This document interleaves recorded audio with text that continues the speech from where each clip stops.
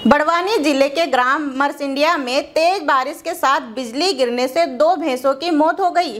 घटना स्थल पर मार्ग न होने और बीच में पड़ने वाले नाले में अधिक पानी होने से पंचनामा बनाने पहुँचे बीजासन चौकी प्रभारी कमलेश सावनेर और आरक्षक अभय सिंह भुरिया को काफ़ी मशक्कत करनी पड़ी और पैदल नाला पार घटना स्थल तक पहुँचे।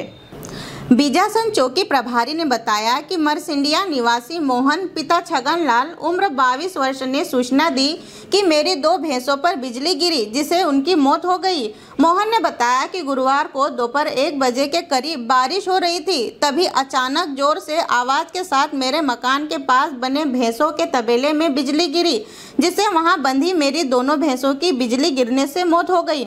मेरी दोनों भैंसों की कीमत लगभग एक लाख अस्सी हज़ार के करीब थी, चौकी प्रभारी कमलेश सावनेर घटना स्थल का जायजा लिया और पंचनामा बनाया। वहीं पटवारी और पशु चिकित्सक को सूचना दी।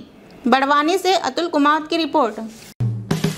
हेलो फ्रेंड्स आप देख रहे हैं हमारा channel S W twenty four news हमारे सारे वीडियो सबसे पहले देखने के लिए आप हमारे चैनल को सब्सक्राइब करें और पास में लगे बेल आइकोन को दबाना बिल्कुल भी ना भूलें।